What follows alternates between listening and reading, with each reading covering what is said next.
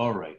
Uh, Lord, we bless you and we thank you for your mercy. Um, we're in the middle of their first missionary journey of Paul and Barnabas, and um, thank you for the. Uh, we thank you for your uh, for your love and your mercy that led them uh, and converts. And to this day, Lord, we are blessed um, blessed to receive the faith through uh, this beginning work that Paul and Barnabas did. So make us joyful and, and uh, keep us faithful unto death, and help us also to spread the faith through Christ our Lord. Amen. Amen. Now we're going to um, um, let me just, just go ahead and mute everybody for a moment. Um, we're going to be uh, finishing up the first missionary journey, um, and um, let me see. I'm going to put up the map uh, they'll come back to Antioch and report, and then there's trouble in the church. Uh, divisions over how to handle Gentile converts. Um, it's it's a uh, it's a kind of a familiar ring to it. In effect, it's the ancient version of racism um, that we'll be looking at tonight as we get into Acts 15. It wasn't between black and white, but between Jew and Gentile. But gosh, the similarities are so strong that I think we'll have a lot to learn uh, today uh, about that topic. We've already encountered it, right? How angry they were that Paul went, I mean, that um, Peter went into the house of a stinking Gentile and ate with them and, you know, baptized them, you know. And so we saw, we saw a lot of that already. And he explains, and they finally say, well, all right, I guess the Gentiles are now co heirs. Uh, but um, it's not that simple. Learning to live together is going is a challenge in the church. So we'll we'll see all that tonight.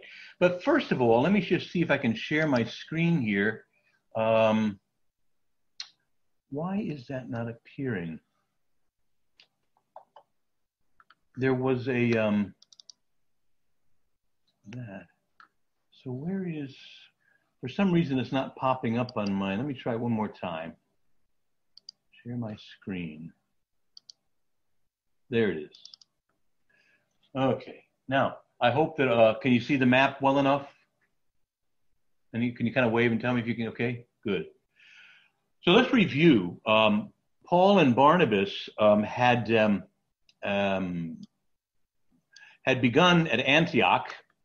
Uh, they, they, they went down to the, uh, to the island of Cyprus and came around the, the lower part of Cyprus doing some evangelizing as they went. Cyprus was kind of a, a, familiar area to Barnabas, and he'll go back there at some point later in the Acts. They sail across, though, and they land at Perga, and they go up into the mountains to Antioch. They work their way around to Iconium, down to Lystra and Derbe. And then they, they backtrack through those same towns. And in each of the same towns, the basic result is the same.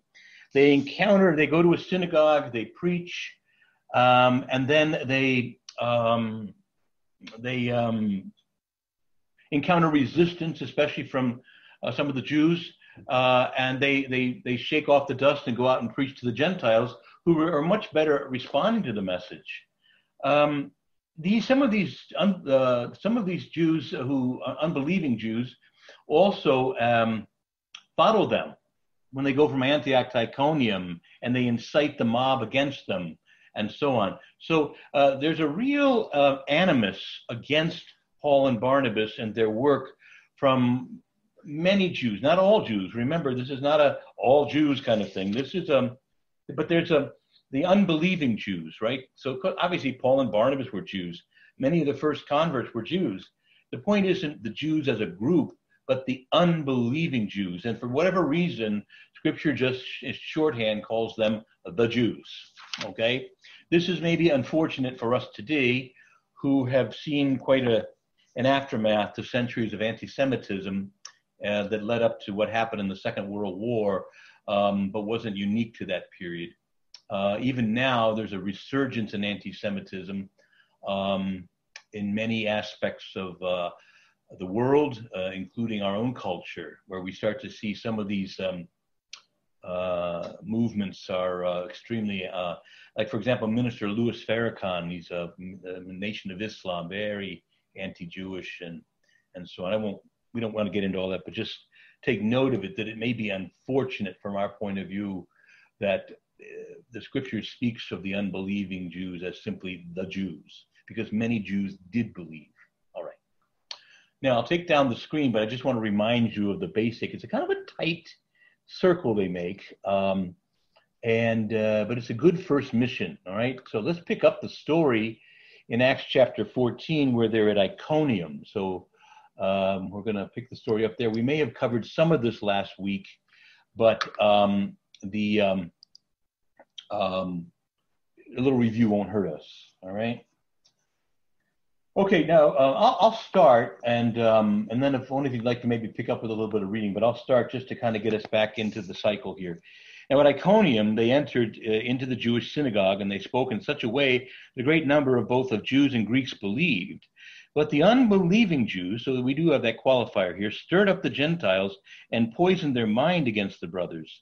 So they remained for a long time speaking boldly for the Lord, who bore witness uh, to the word of his grace, granting signs and wonders be done by their hands. Um, but the people of that city were divided. Some sided with the Jews, some with the apostles. When an attempt was made by both Gentiles and Jews with their rulers to mistreat Paul and Barnabas and stone them, they learned of it and fled to Lystra and Derbe, the cities of uh, Lycaonia, and the surrounding country, and there they continued to preach the gospel. Now, uh, a couple things here. We see that um, um, it says that they remained there for a long time. Luke is famous for being vague about time. But what we do know is that this first missionary journey is pretty easily dated to um, about 40 between 44 and 46 AD. So this this first missionary journey was two years. So we could presume that maybe they spent, you know, a good number of months, uh, maybe even six months or more uh, in, in Iconium. Um, exactly what he means by a long time is less clear.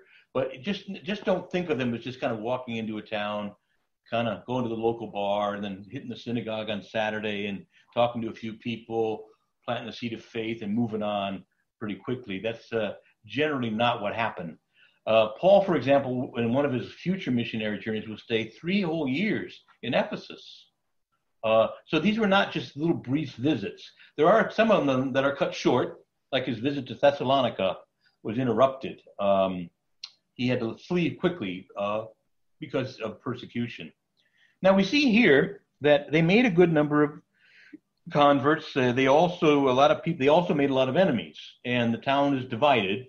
And eventually, it gets so hot there that they got to, they got to, they have to. There's a plot to stone them, and they they leave there. They flee. Now, this is in conformity with Jesus, who says, "Look, you know, when the lion is chasing you, you don't got to jump into its mouth. Um, that there is a time to flee persecution." Um, we can never deny Christ. If someone ever does finally catch up to you and say, "Are you a believer in Jesus Christ?" You know, you have to say yes, even if they kill you for it. But it doesn't mean you can't evade them or try to run from them. So Jesus says, if they reject you in one town, flee to the next. Um, or he says on another occasion, if they reject you in one town, shake its dust and move from there. See, so it's not like you're required to just kind of hit, you know, pound sand uh, forever, or that you're required to utterly endanger yourself. Um, there is a value in living to fight another day. But there comes a time in the lives of martyrs where the the final question just gets called and they can't evade it. Are you a believer in Jesus Christ? And they had to say yes. Or will you burn incense to the emperor? And the answer has to be no. And even if they kill you for it. But if you can flee, it's okay. Get out. Okay? So I think that's uh, what you see an example of here. Uh, so Paul and Barnabas decide to live to fight another day and to preach another day. Okay. Now, um, we see here that uh, there, there is, a, we, we, we looked at this last week. So again, I'm, I'm going to just read this material rather quickly and just make a few comments to remind you. Now at Lystra, there was a man uh, sitting who could not use his feet. He was crippled from birth and had never walked. I'm going to guess he had maybe like club feet or gnarled feet that just, you know, you couldn't, he couldn't stand on them. I don't know. We don't know for sure. Uh, but he listened to Paul speaking, and Paul, looking intently at him and seeing that he had the faith to be made well, said in a loud voice, Stand upright on your feet. And he sprang up and began to walk. Hmm? So again, um, this word "stand upright" again is a, is a symbol for the resurrection. You know, anastasis, uh, be be raised up. You know, um, and so there is this vision of a um, kind of an image of the resurrection. He stood up and he started walking around freely. And this is an, image of being set free from sin uh, and raised up from the dead, the spiritual death by the Lord. Now, um, he sprang up and began walking. Now, um, now, notice here, there's something interesting. Paul looking intently at him and seeing that he had the faith to be healed. You know, I'm not so sure that I'm able to judge that when I see another person. You know, it's just, it's hard to to simply look at someone and know that. But I do know when I'm preaching that there are some who are getting the message and some who are like checked out. You know, um, and um, uh, I I uh, I find it very important to make eye contact with people when I'm teaching and preaching. Um, and uh, so, like a lot of times here, when we did these televised masses, I had to speak to an empty church. and it was kind of weird because I wasn't getting any feedback. But uh, I did the best I could. But I, I do sense something of that kind of faith when someone is, you can see they're getting it, the message. Not so much what I'm saying, but this message is from the Lord is touching them. And sometimes when, when it doesn't seem to be, but even there, I'm trying to be cautious because sometimes someone doesn't look like they're enjoying the message and they come up to me after mass and say, oh, that was wonderful. So I try to be careful not to quick to make quick judgments on that.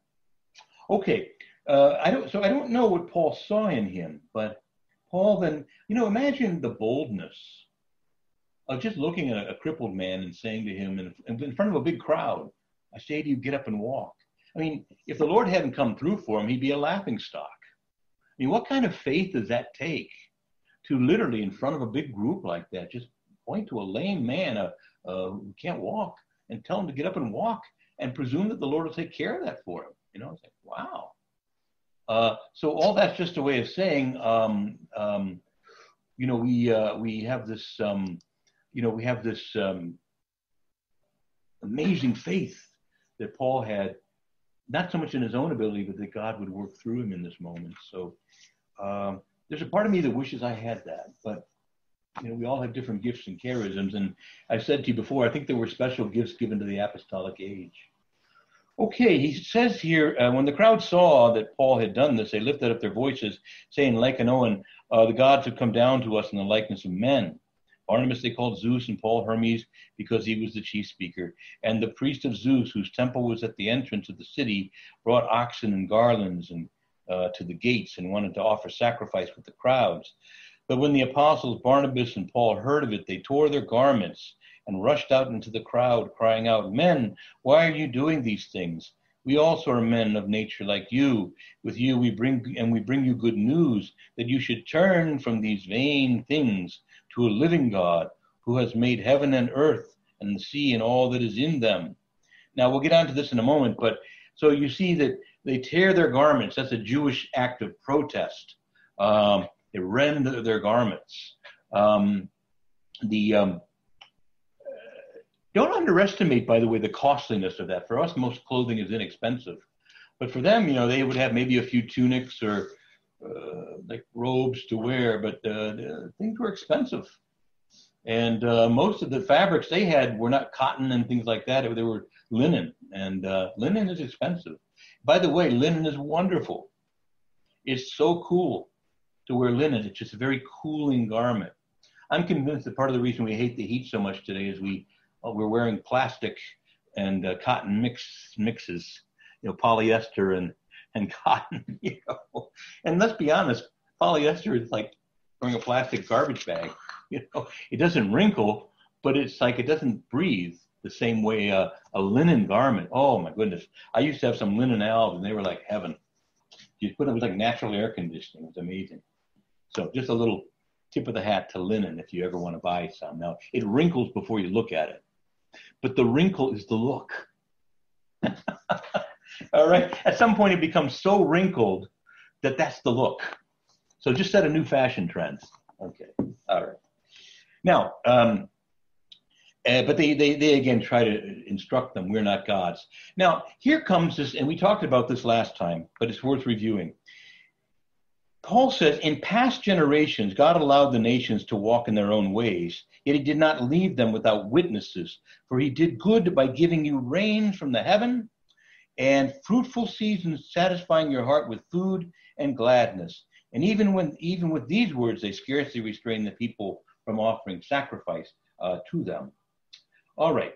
Now, um, um, I talked about this before, but remember there's the book of creation and the book of the scriptures. And the Jewish people had this special honor of receiving the book of scriptures. But St. Paul says in Romans 1, and I told you last time because we were getting near the end of the class, I didn't have time to really look it up with you, but now I do want to look it up that Paul insists and the church insists, and the entire wisdom tradition of the Bible, all the wisdom books insist that the Gentiles can come to know that God exists and at least know some of his qualities based on what he has made. So it goes like this. Uh, I'm reading now from Romans chapter 1 and verse 18 and following. For the wrath of God is revealed from heaven against all ungodliness and unrighteousness of men who by their unrighteousness, listen to this, suppress the truth. For what can be known about God is plain to them because he has shown it to them. He's talking about the Gentiles now, not the Jews. So again, let me start that again. For what can be known about God is plain to them, namely the Gentiles, because God has shown it to them. For his, in, for his invisible attributes, namely his eternal power and divine nature, have been clearly perceived ever since the creation of the world in the things that have been made. So they, the Gentiles, are without excuse. For although they knew God, they did not honor him as God or give thanks to him, but they became futile in their thinking, and their senseless minds were darkened. Claiming to be wise, they became fools and exchanged the glory of an immortal God for images resembling mortal man and birds and animals and creeping things. Therefore, God gave them up to the lust of their hearts, to impurity, to the dishonoring of their bodies among themselves, uh, because they exchanged the truth about God for a lie and worshiped and served the creature rather than the Creator who is blessed forever. Amen. For this reason, God gave them up to dishonorable sexual passions. Their women exchanged natural sexual relations for those that are contrary to nature and the men likewise gave up natural relations with women and were consumed with passion for one another, men committing shameless acts with men and receiving in themselves the due penalty for their error. And since they, the Gentiles, did not see fit to acknowledge God, God gave them up to a debased mind to do what ought not to be done. And it goes on from there. So you see that uh, what what the, what Paul is teaching, and he's drawing from a tradition in the Old Testament as well, is that although they don't have the, the full scriptures, the Gentiles do have the book of creation. And in creation, we observe that things have an order, they work to an end or a purpose, they have a purpose. Um, they're meant for certain things and not for other certain things. So if I were to, um, I don't know, here's my magnifying glass, it has a purpose. But if I start to use it as a hammer, uh, that's it's not going to do very good and it's going to break. So um, um, things have a purpose. They have a, a, a, something they're meant to be used for, and things they're not meant to be used for. And uh, we observe these things in creation. We learn order, and we learn that the God who made these, therefore, is a God of order. And we also learn basic moral norms. We know that, that we, we, we learn that certain things create harmony in the human family, and certain things create disorder and uh, disharmony. And we, we learn again that there are just certain things that uh, ought not to be done. And this is what's called the natural law. It's the law of God. It's the law of, uh, uh, that's available to our natural minds. It's not the law of nature per se, but it's, it's the natural law is, is that part of the law which is perceivable by the human mind that observes creation and the purpose of things and is able to draw conclusions and understand who God is based on what he has made. Okay?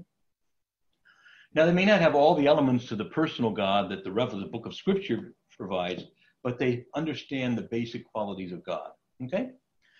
So, um, any comments or questions about that? Because you see, today, it, it, because many have rejected the Scriptures, the church has also has recourse, though, to natural law arguments. However, uh, we're unfortunately very well deep into Romans 1, where people have debased their minds because they refused to observe the order of creation that God Himself has plainly done. They suppressed the truth, they suppress it. And they go into all kinds of confusion when this happens. And Paul emphasizes uh, that they started worshiping dogs and fish and birds and cats and bulls and goats, um, you know, worshiping lower things, worshiping them like they were gods, or worshiping the sun, even higher things, but still just a creature. Um, and they lo- they lose their way, and then they, their their debased mind gets very confused about the purpose of things like sexuality. You know, uh, God intends for sex and marriage and making children to be together.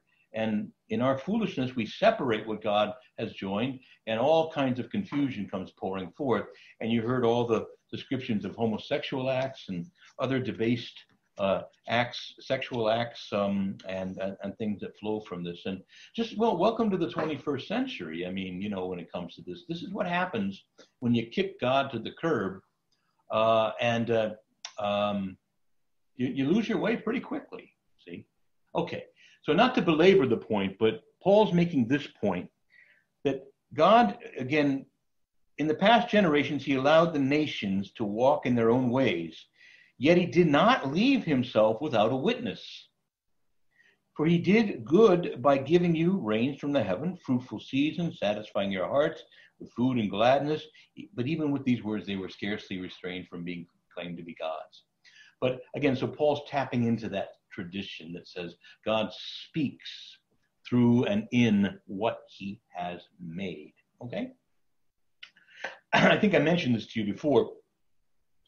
How does God create? He speaks, right? He sends forth a word. Let there be light. There's light. And it, that word is the word is logos in Greek. And we find out in the New Testament that in in uh, um, in arche ho logos, and ho logos is pros ton theon. That is to say, in the beginning was the Word, and the Word was with God, and the Word was God. Hmm? And all things came into being through him, and nothing that exists did not come into being through him. So I'm just summarizing the prologue to John's Gospel. So this word is not just a sound that God the Father utters, it's the second person of the Trinity. So God the Father creates, but he creates everything through his Son, the Logos. And um, this Logos impresses a logike on creation, a logic. So God thought creation into being. Uh, one can, uh, creation is not just dumbly there. Um, it's the whole root of the scientific method that creation isn't just dumbly here. It actually has an order and a purpose. It has things to teach us and we learn from its order how we are to live and who made it.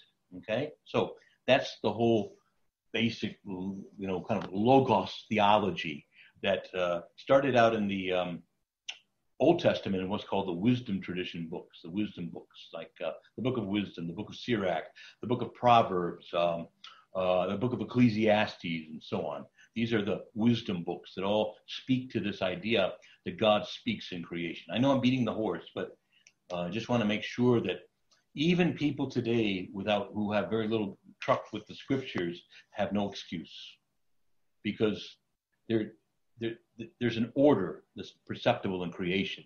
Sex has a meaning and a purpose, and you suppress the truth and you go off track very fast. So do other things have a meaning and a purpose, and you you worship them as gods or you use them inappropriately and you go off track very quickly. Okay, all right. Enough said. Now, this comes this next place um, where we ended last time. The Jews came from Antioch and Iconium, and having persuaded the crowds, uh, remember these they came from the, the previous town, and they stirred up the crowds, and they dragged him out of the city, supposing that he was dead. And um, when the disciples, uh, they, uh, they uh, I'm sorry, they stoned Paul and dragged him out of the city, supposing that he was dead. But when the disciples gathered around about him, he rose up and they went back and they went entered the city. And the next day they went on with Barnabas to Derbe. And when they had preached the gospel in that city and had made many disciples, they returned to Lystra and Iconium and to Antioch, strengthening the souls of the disciples, encouraging them to continue in the faith, and saying that through many tribulations we must enter the kingdom of God. And notice this now, and when they had appointed presbyters for them in every church, with prayer and fasting, they committed them to the Lord in whom they had believed. So they make this cycle and they go back through those towns. Notice it's interesting. Some of those towns where they had been stoned or thrown out of the city or had threats against them, but they went back through those towns and they met again with the disciples and strengthened them. And they, they, they said, It is through many tribulations that we must enter the kingdom of God. Um, pay attention to that. You know, we live in a time where I think, you know, we've been able to eliminate a lot of discomforts. We live very comfortably in in many ways. We have air conditioning, we have uh, we have electricity, running water, fresh, pure water. I mean, pure water was hard to come by. Um, we have eyeglasses, we have medicine, we have so many things that make our life so much easier. Um, that I think that even the smallest little setbacks just were filled with resentments very quickly, you know. Our immediate ancestors didn't see life that way. They spoke more like this it is through many tribulations that we must enter the kingdom of God. So you, you, remember, you may have heard me use this example before, but because it's a prayer we all know pretty well, um, Hail, Holy Queen, Mother of Mercy, our life, our sweetness, and our hope. To thee do we, notice, cry, poor, banished children of Eve. To thee do we send up our sighs, mourning and weeping in this valley of tears. See? And it goes on to say that we're living in this exile. Now, you see, we don't write prayers like that much anymore. but, you know, the honest truth is that we are in exile. And that, that this world is not our home, and there's a lot of discomforts, and there's tribulation, and there are trials and setbacks. And this is a time very often of testing and pain for us. And but but I think because we're so used to having everything comfortable and easily fixed, and all of our movies fix everything in 90 minutes. You know, the crisis sets in, our hero arrives on the scene, and after about 90 minutes of killing people, blowing up buildings, and breaking things, he comes to the final showdown with the unambiguously evil man, uh, kills him, uh, takes the girl in his arm, and Burning City in the background, roll credits. And it's all done in 90 minutes crisis averted, you know. And uh, that's just not the way life works. See? And some of our sufferings can go on for a long, long time. And this is not, this is a time that is through many tribulations that we must enter the kingdom of God. A lot of those old Protestant hymns talked about kind of almost a longing for death. You know, one bright morning when this life is over, I'll fly away to a home on God's celestial shore. When I die, hallelujah, by and by, I'll fly away. Another song says, Trials dark on every hand, and we cannot understand all the ways that God would lead us, that blessed promised land. But He guides us with His eye, and we follow till we die. And we'll understand it better by and by. Oh, by and by, when the morning comes, and all the saints of God are gathered home, we'll tell the story of how we've overcome, and we'll understand it better by and by. We don't write a lot of hymns like that anymore. But you know, those were written by people who knew real suffering, who worked in coal mines and in factories six days a week, 10 hours a day, who had very poor salaries, uh, poor health, lived in tenements. Some of them ran the rails across this country, um, did terrible, hard, painful work. Life was brutal and life was short. And um, death was gain. And we just we've lost that sense. And so I think happens because suffering still does come to us, but there's something we're particularly resentful about it because we expect that life should be peachy, and it's not. It's not. Um, we're in exile. So I don't mean to sound too gloomy. There are beautiful things in life, and even our ancestors had beautiful moments. There were times of weddings and celebrations and parties, and there were times and holidays and saints' feasts, but there was also a lot more obvious hardship that they encountered. And just think of all the medicine, you know, you get diarrhea back, you know, 100 years ago and you'd be dead by the end of the week. Dehydration, you know, if you couldn't stop that. See, so, I mean, these are the kinds of things we just take for granted. Just get the Imodium and be done with it, you know. So you, you see that um, we live pretty well, but it creates for us a kind of a quick resentment when anything goes wrong, even a small thing like my my cell phone is slow, you know, and we're always going to law, you know, over things. And um, so anyway, um, all right, we'll leave it at that. But the next thing I want to point out to you, though, in this is a very important line. It says here uh, in um, verse 27, and when they arrived and gathered the church together Notice that word, the church, is used there, right? They gathered the church uh, together and declared that what God had. Oh, I'm sorry, I'm, I'm in the wrong line. Um, um, verse 23 of Acts 15. And when they had appointed elders, or it says here presbyters for them in every church, with prayer and fasting, they committed them to the Lord in whom they had believed. So you notice they appointed presbyters. Now, this word presbyter can be translated elder or priest. And I, I, guess you can sort of tell how priest is kind of a mispronunciation of presbyter, you know. So down through the centuries, as it came into English, you know, presbyter, presbyter, priest, you know. So uh, it, it's just sort of morphs over time into the word priest in English. Um, don't when it says elder, don't just think older people because it's an office and they lay hands on elder uh, presbyters in other passages that you'll see. Um, so it isn't necessarily a recognition of mere chronological age, but that certain people, whether they're older or a little bit younger, but they receive this office. It's an office. It's not just a status because you've reached 60 or whatever. Okay. Yeah, Monsignor, um, is the the root of that type of priest the same as like the pre- pagan priest from like the pagan religions? Would that that have been a different word? You know, I don't know that. I thought you were going to ask whether that term priest. You know, we use the word priest in two senses in the church, don't we? Um, let me answer your question first. I don't know. I don't know what the pagan. Um, I do know there's two Greek words for priest. One is um, a presbyter, and the other is hieros, where we get the word hierarchy. What is hierarchy? Archon means rule, and hierus means priest. So hierarchy literally means rule by priest. Um, the um, in, so I, I, don't really honestly know the answer whether the I don't know pagan Greek enough to say that, yeah, that's the word they used. Okay.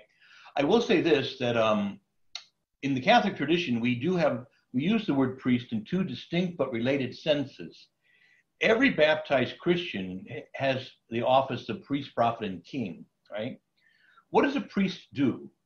A priest offers sacrifice, okay, uh, in atonement for sins, uh, their own and others. Now, um, What's interesting about the New Testament priesthood is that the priest and the victim are one and the same. In the Old Testament, the priest would sacrifice something different from himself, an animal, or maybe a, a libation of oil, but it wasn't himself. But in the New Testament, in the New Testament, the um, the um, uh, the priest offers his very self because Jesus is the great high priest. Now, every baptized Christian ha- is has what's called the royal priesthood of all believers. So you, as Catholics and Christians, are called to offer sacrifice, sacrifice of praise, but ultimately the sacrifice of your very self to God. Here I am, Lord, use me, work through me, I'm yours. Now, there is also what we call in the Catholic tradition the ministerial priesthood, and that's like one, one of me and what, what Ben is training for.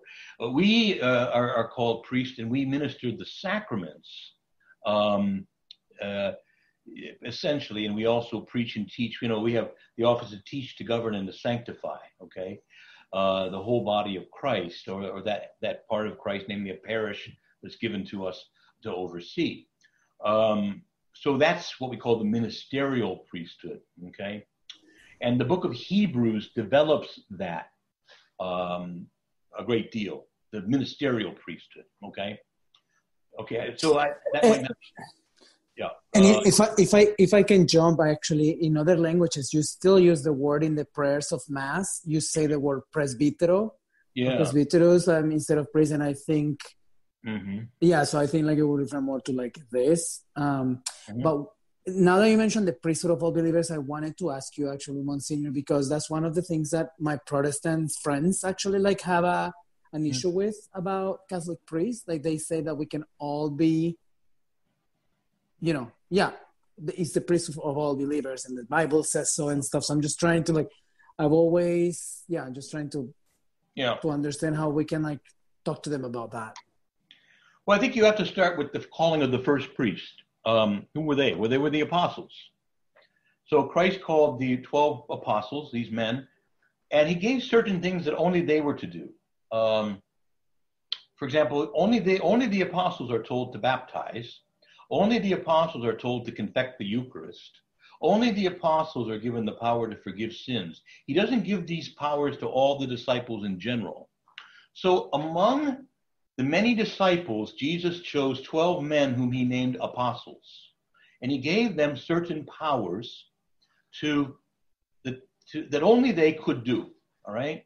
Um, and so these are the things that he he would say to them. He who hears you hears me. He said that to the apostles, not to all the disciples.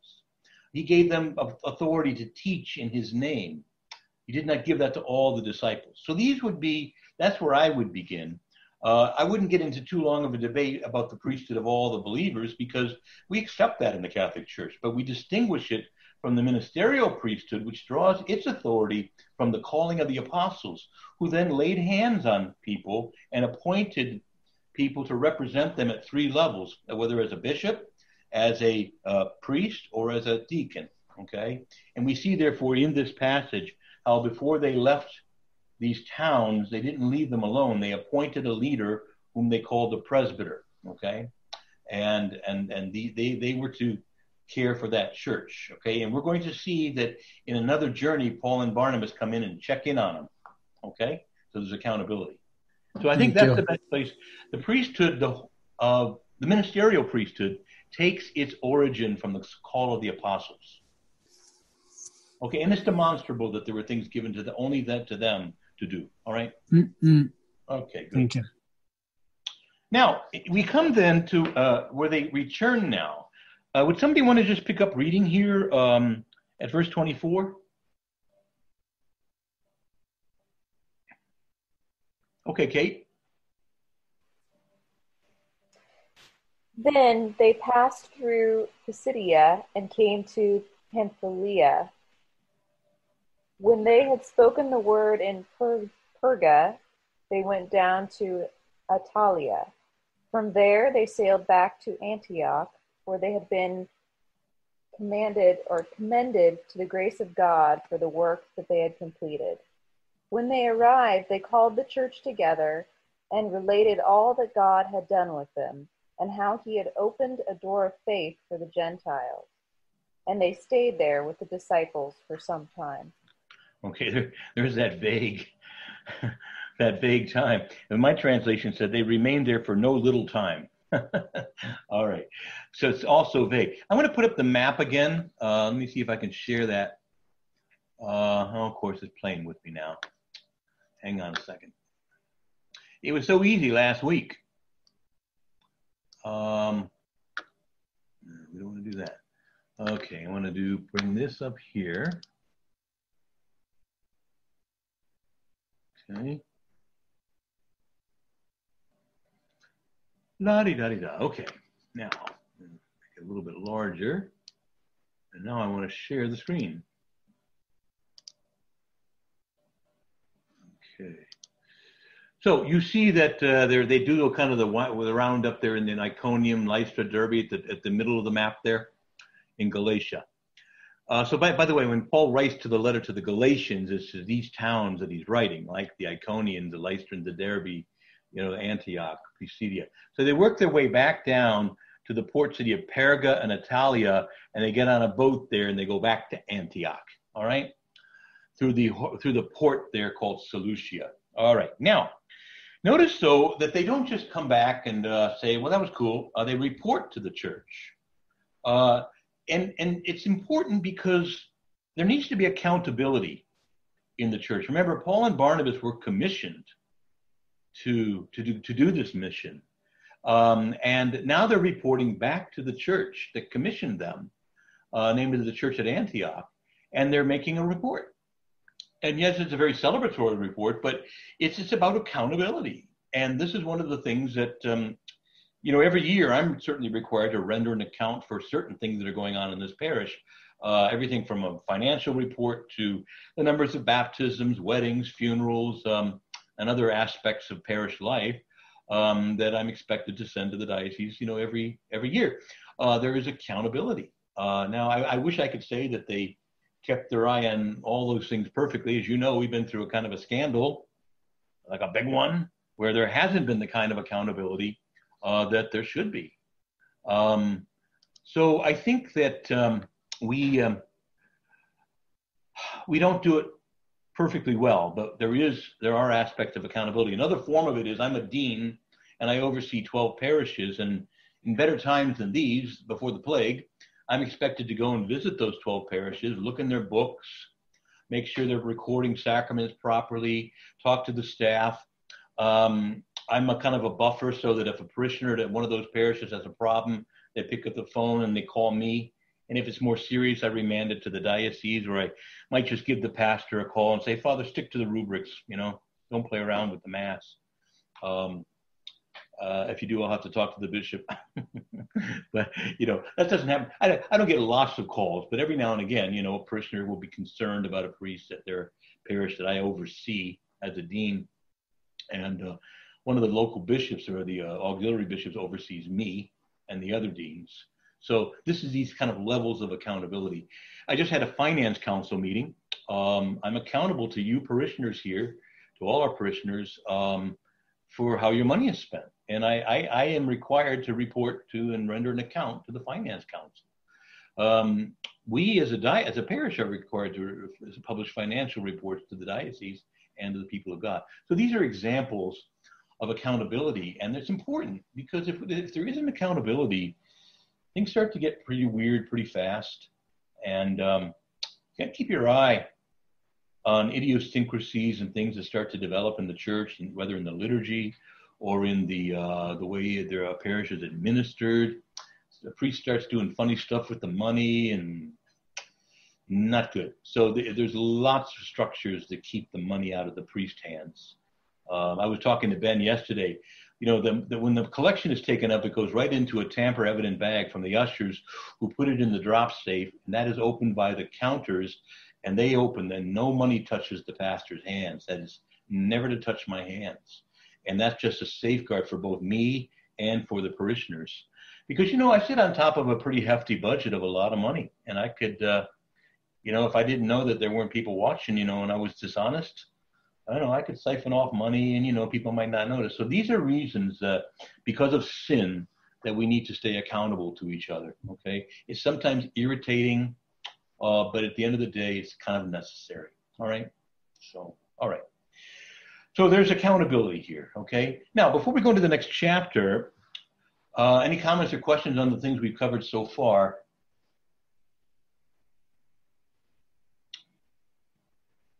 I guess it Meredith, are you about to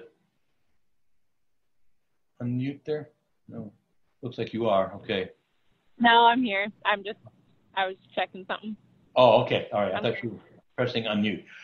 Okay. Well, I think that uh, again, so accountability. Take it, uh, you know, as a know, we all have to. Uh, you know, I guess you know our two doctors here. You know, you have to meet certain boards and requirements and do certain training and stay caught up. You know, uh, we priests are required to also do certain you know training every year and different things. I, I guess most of you in your professional development you're, you're required to do some of these things and to be accountable for those kinds of things. And i think all these are examples of, of generally speaking of a good healthy accountability that, that keeps us all more honest and more hardworking.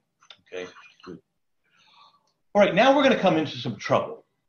And to use the word racism um, kind of takes a, a, a modern American word and pushes it back into a more ancient setting where the context is different, but the reality is pretty much still the same. the way that Jewish people saw the world was you had you had the Jews, and then there was everybody else, and they were called the Gentiles or the Goyim. And um, Goyim is very too closely related to the Hebrew word also for pig. Um, and sometimes they would play on the word and refer to them as the pigs. Um, it is not right to take the food of children and throw. Uh, I'm sorry. Uh, do not throw your pearls before swine. You know uh, these kinds of images. Um, so um, a lot of ugliness. Um, now the Gentiles, of course, returned the favor. Um, but among the things that would just be unconscionable for a Jew to do, and we talked a little bit about it already back in chapters 10 and 11, was it would be unconscionable for a Jew to enter the house of a Gentile. A stinking Gentile, by the way, I might add. Huh? Um, and, and they would not cross the threshold of the door of any Gentile. And if they did, they became ritually unclean. Now, what's interesting is you come to a, a very dramatic moment where Jesus is on trial and he, they take him to the praetorium, which is the palace of the governor. And he takes Jesus into the house, but the, the, the, the, the priests who are making the charges won't go in because they don't want to defile themselves by going into the house of a Gentile so that they won't be able to celebrate the Passover feast. Now, do you, do you hear the irony and the hypocrisy about that? They are putting an innocent man to death they're committing deicide, and they're worried about ritual impurity. You know, I mean, John is is just dripping with Johannine irony. You know, just dripping with it. Um, so you start to see that uh, there's, shall, shall we say, they are majoring in all the minors. they're maximizing the minimum and minimizing the maximum. Okay, uh, this is they got it all backwards. All right, but the point is I'm making to you is that a Jew would never touch something uh, that a Gentile uh, you know, I mean, they had to touch a few things, but like a utensil, or they would never share bowls or cups or kettles or anything related to eating. If, if a Gentile had ever touched it, it was defiled forever. Um, they would never, uh, you know, the, occasionally if you can make a little money in a transaction, of course, you'd work with a Gentile. But at the end of the day, uh, Gentiles were, were to be avoided. Uh, they were hated by the Jews, and the Gentiles returned the favor. You may also remember that the Samaritan woman protests, How is it that you, a Jew, uh, and a man speak to me, a Samaritan and a woman? And then it says in parentheses, for, for Jews and Samaritans have nothing together. Um, and she's very nasty and re- resentful that this Jew, this stinking Jew, is talking to her, a Samaritan. And uh, Jesus doesn't take the bait. He stays in a conversation with her. And she eventually warms up to the conversation, and the rest is history. But um, I tell you, um, if you haven't seen the series The Chosen, and by the way, here in the parish, we're going to do that in a couple weeks. And I have a little showing of the a couple of episodes of The Chosen. Uh, so if you want to find out more, I know Joy, uh, who was on earlier, is helping to organize that.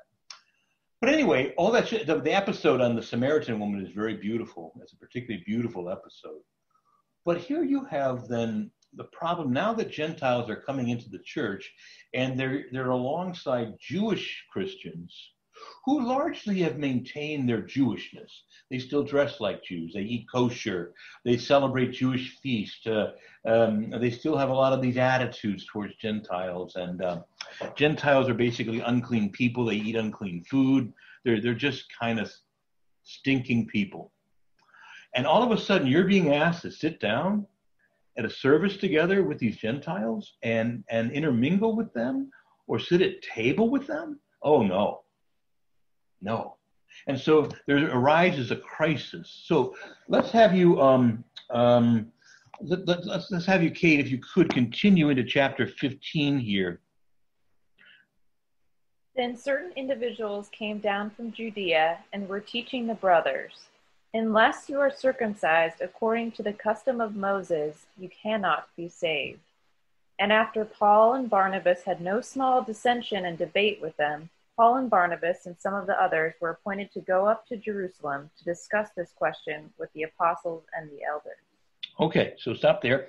Now, um, uh, maybe I'll put the map back up for a minute. It's an unusual expression from our point of view. Um, that um, um, share my screen here. Okay, can you can you see the map here? Let's see. Oh, I got to share it. Okay, we okay with the map? Now they're up there in Antioch, and it says that some Jews came down from Judea. Now Judea is down here near. See where Jerusalem is on the map? That's Judea. In our mind, in modern American, we think you go up to Antioch because it's north. You go up if you're going north, and you go down if you're going south. But you always go down from Jerusalem.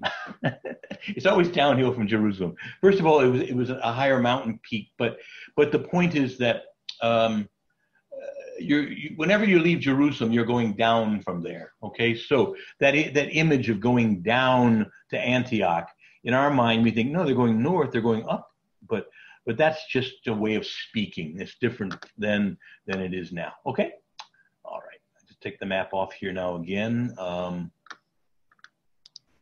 Okay, now you're back to my ugly mug. Okay, now uh, it says here that uh, they came from Judea uh, and they were teaching the brothers, unless you're circumcised, you, according to the custom of Moses, you cannot be saved. Now, you, you, you and I might think of circumcision as just this little surgery performed on a little boy, an eight day old boy, where some of the foreskin of the penis is cut and um, away. Um, it is a surgery, but that's not really its main point. You now become subject to the entire Jewish way of life, the entire Jewish law. You become a Jew by that. Um, women are more naturally Jews, but, but a, a boy has to be made a Jew. He's circumcised. And when he is circumcised, again, he takes up the whole culture the whole customs and the laws of the Jewish people.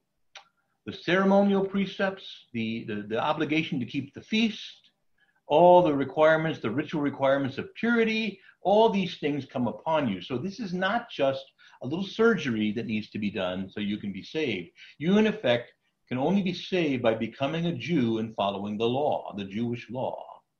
Okay. Now, Paul would later write in the letter to the Galatians if salvation comes through observance of the law, then Jesus died to no purpose. If you and I could just do extra spiritual push ups and keep certain rules and be saved that way, we don't need Christ. See? And the fact of the matter is that, uh, again, it was, so it was basically a denial of the necessity of salvation by and through the blood of Jesus Christ and uh, there's there's a they had a huge debate about it, and it says here there arose no small dissension. Um, so this became quite a fight. Uh, so in effect, what these Jewish Christians were arguing, these were Jewish Jews who had converted to Christianity, were arguing is these Gentile converts need to live and sound and act and be like Jews, adopting our customs, our kosher diet, all of our other customary laws, the festivals and the feast. They have to put on the prayer shawl and the phylacteries and pray like they have they, they have to do all of this to be admitted into the church, okay? Now, let's put that in modern terms. It's like you know, people have different ethnic customs and traditions that ought to be respected. And, you know, let's just put it in modern terms. Let's say that uh, some African Americans moved into an area and uh, they, they wanted to go to the Catholic Church and said, well, don't bring any of that stupid gospel music in here. We don't do that kind of stuff around here.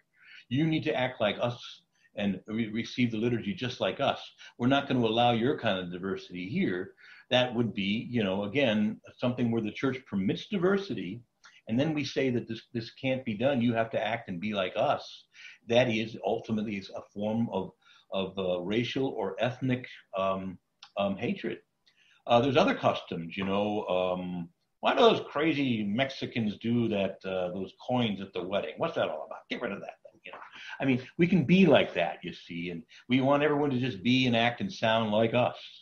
And there's there there there are limits to diversity, but there's a very legitimate diversity. See, and they didn't want any of this. If these stupid, stinking Gentiles have to be in our church with us, why, why did we ever do this? Look at the headache, man.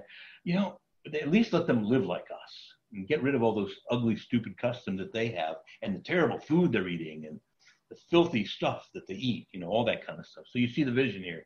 Cultures are clashing, and uh, it's a type of it's a type of racism or ethnic strife. You see. All right. So what do they do? And here comes a very important moment, and, the church has done this ever since. When there's a crisis among the leaders of the church that can't be resolved by the leaders, then there is something that is done where a council is called where the, where the Pope or Peter presides, or Peter's successor, in other words, the Pope.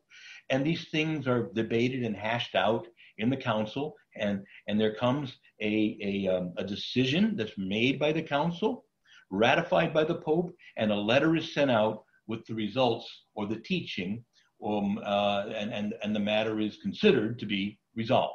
All right? Now, that, that's what's going to happen here. We're going to see all those elements. So let's get started um, it's so, getting. So, Monsignor, do the Jews still believe salvation comes from the law? Well, you know, it's it's, it's funny when Kenneth, when when you ask the question, what do the Jews think about something today? It's like saying, what does a Protestant think? There's so many varieties of them. you know that um, uh, you know in a way they can't even keep their law anymore because the temple is gone.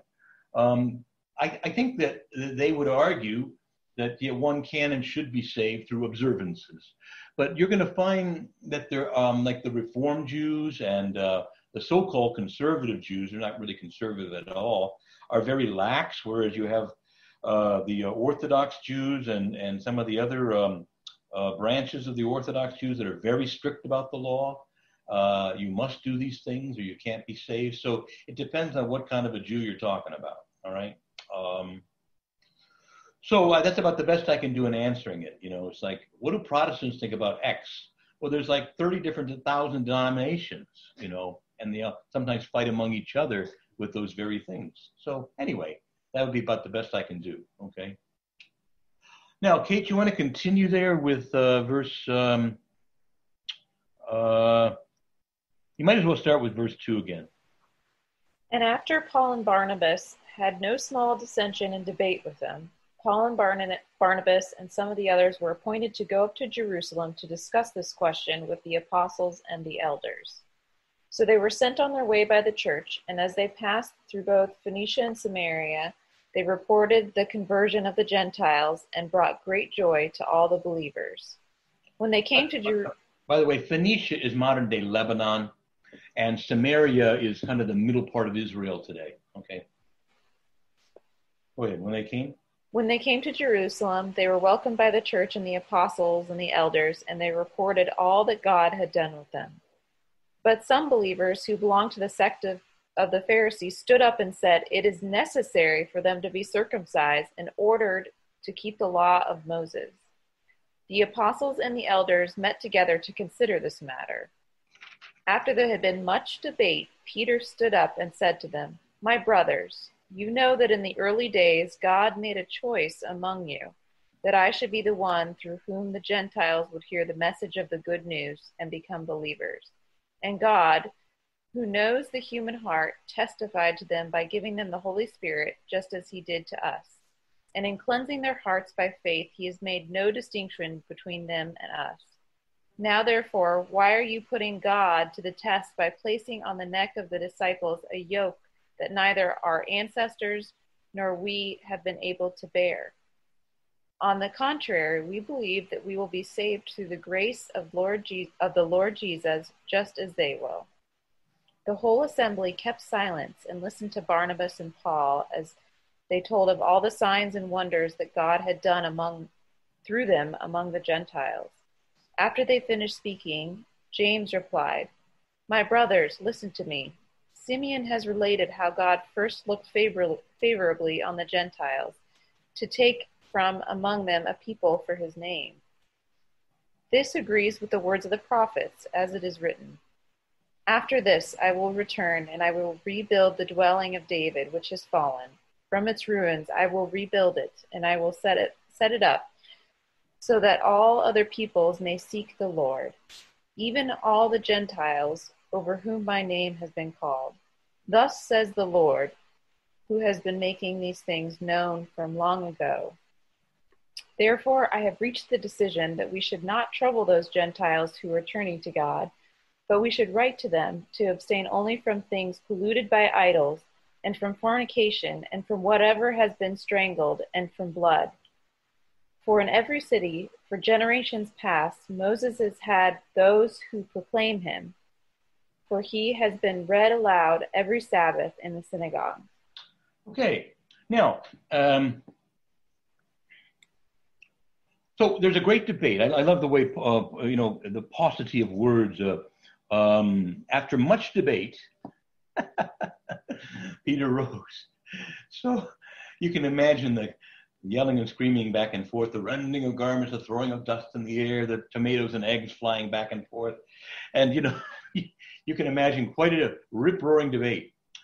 It would seem, now I'm reading into this a little bit, but that James was probably of the party of the uh, uh, that that w- w- wanted them to live like Jews. So uh, he later asked for some concessions, as we'll see. But in the midst of all this debate, finally Peter rose and he made a decision, and the whole assembly grew silent. And his decision was that we should not ask them to take on the whole yoke of the law that neither we who are, or our ancestors could really keep. Um, some Jews prided themselves in keeping the law, but they kept it in a very perfunctory way, you know. And um, so again, uh, he's making that point that it's it's pretty hard to keep the law. Now um, we come then to this um, moment, though, uh, where then Paul and Barnabas are to, are asked to tell the story of the conversion of these Gentiles, and they do, and they. And James finally, who again would seem to have been opposite Peter in his point of view, arises and affirms Peter's decision. And he also makes an additional judgment. He says, I would like to ask, or he just says, it's my decision or my thought that we should. Um, that we should uh, simply ask that they do a few things. And he asked for things that seem very arbitrary, um, but uh, on, only one of them is really strictly speaking a moral issue. Um, we should write to them to abstain from things polluted by idols. Okay, in other words, um, um, food or whatever that had been sacrificed to idols or bought in, in, in pagan temples, uh, and from sexual immorality, and from what has been uh, meat that has been strangled, and from meat with blood in it. Okay, and he gives the reason. He says that all throughout the Jewish world these things are observed, and if we're going to have any peace at a meal with Gentiles, we just ask them to please refrain from eating red meat. Uh, it's just so disgusting to us. Uh, so, for the sake of just social order, uh, you know, he asked for these concessions. All right.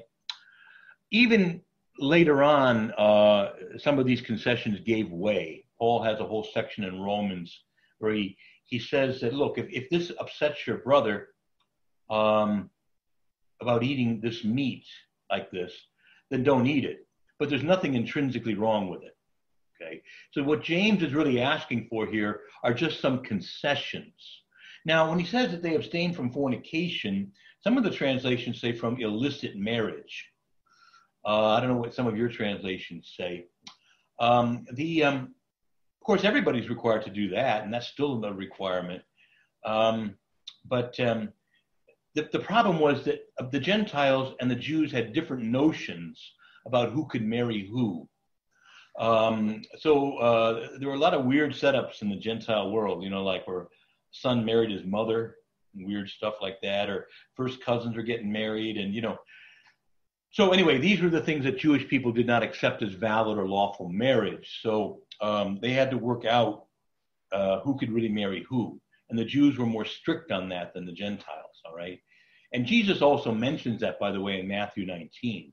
Um, he says whoever get, whoever divorces his wife and marries another, I'm the, with the exception of this, these illicit marriages, um, he commits adultery. So uh, the Lord himself even mentioned the illicit marriages that were common among the Gentiles, where people much too close in the bloodline for getting married. Okay.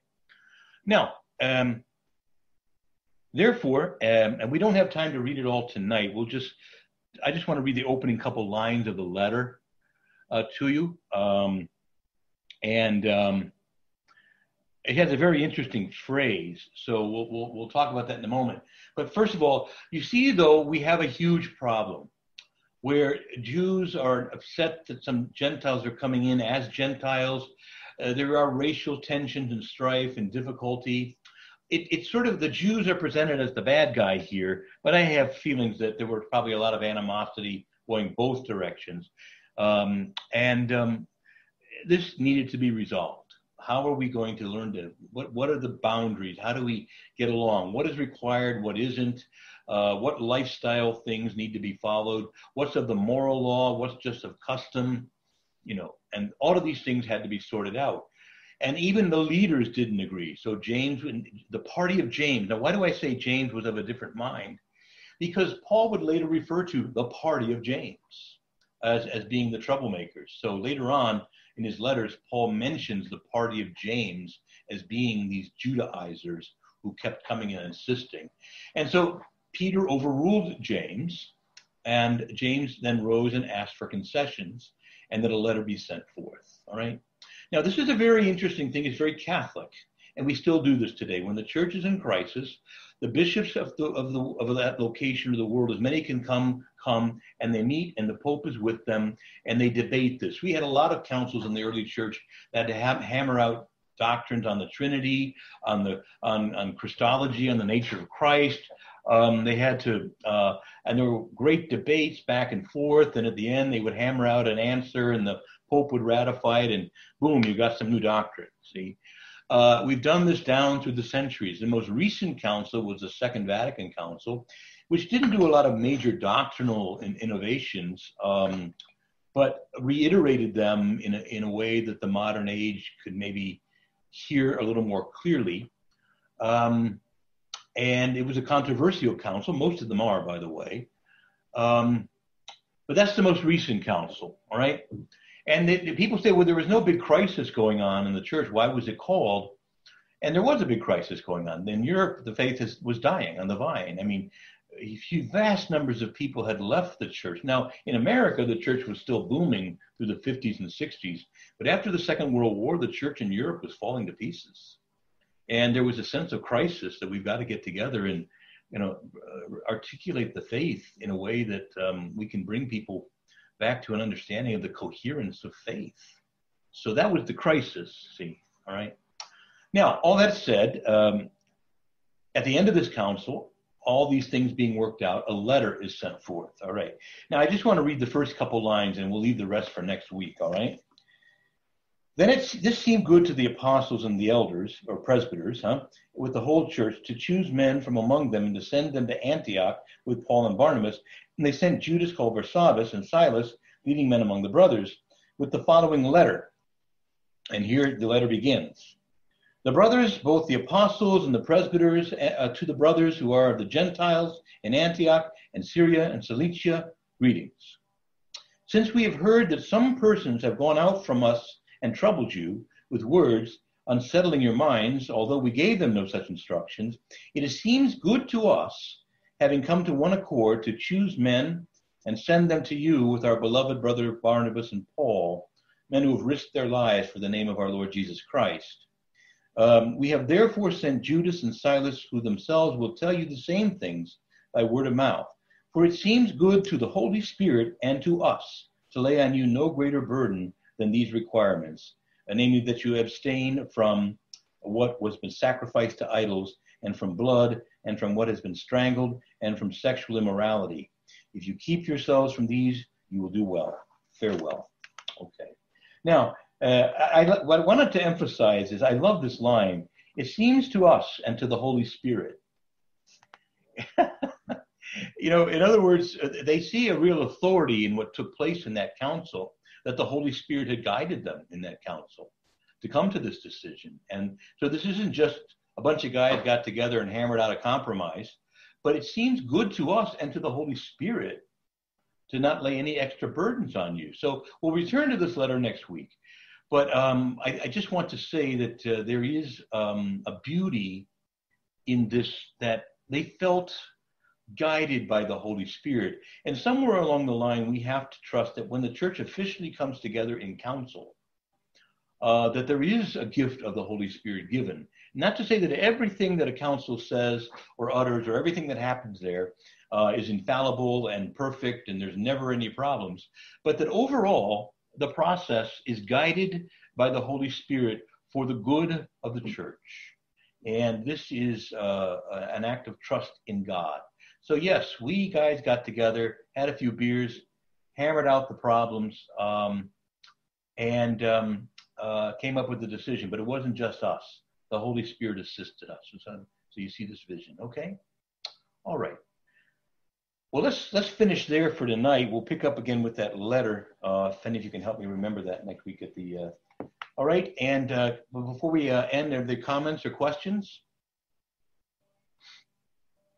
We live in a time where a lot of people, uh, they're a minority in the church, but they're rather vocal, have their doubts about the Second Vatican Council. Um, and um, I would not be among them.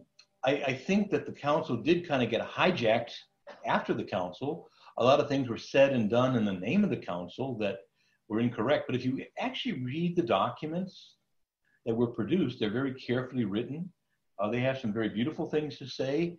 Uh, they develop certain doctrines in a way that's uh, consonant with um, uh, our understanding today. Um, uh, there's one could maybe reasonably argue that the document on religious liberty was something of an innovation, um, but I don't see that as impo- in, in, impacting too heavily on the central doctrines of the church. It's just how does it how does the church interact in a pluralistic culture? Um, we have much more pluralistic cultures today than we ever did in the past, and so the church kind of changed her tactics on, and developed the doctrine or the teaching, I should say more, on religious liberty. Okay, something that's enshrined in our Constitution. It's the first right you got from the Bill of Rights, right? So, uh, relate, uh, you know, a, right to religious liberty. Now, um, but as I say, there are many debates, and of course, there's a lot of liturgical changes that came in the wake of the council, some of which the council seems to have called for. But again, many of these liturgical innovations went much further than the documents actually say. For example, the documents say that it never envisioned that Latin would wholly disappear from the liturgy, but rather that the use of the vernacular could be expanded but that the use of the Latin language, other things being equal, should also be retained in the liturgy. It praised Gregorian chant and organ music. It praised Renaissance polyphony. Uh, it didn't say throw all that stuff away and get get guitars and sing. It did allow and per- permit greater diversity in music. That is true. But you see, you want to distinguish some of what happened from what was actually taught and said. And some of these things got hijacked in a time of great revolution which the late 60s certainly were. So I would encourage you to have faith that the basic teachings of the council are good, they're intact, they, they build on what the church has always taught. And um, later on, some people just chose to distort or take these teachings in a different direction, but the teachings themselves in the actual documents are solid. Okay? It seems to us and to the Holy Spirit, you know, da, da, da. okay. Okay. Well, let's finish then with prayer. Uh, in the name of the Father, the Son, and the Holy Spirit. Amen.